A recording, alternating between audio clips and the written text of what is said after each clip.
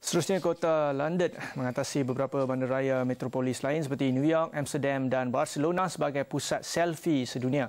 Menurut analisis media sosial, lebih daripada 14% foto selfie diambil dengan berlatar belakangkan beberapa tarikan di kota London.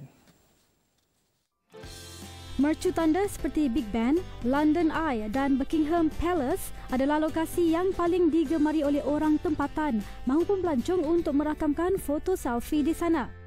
Laman web suggestme.com dikatakan telah menganalisa lebih 6.3 juta mesej di beberapa platform media sosial termasuk Twitter, Facebook dan Instagram bagi menghasilkan fakta berkenaan.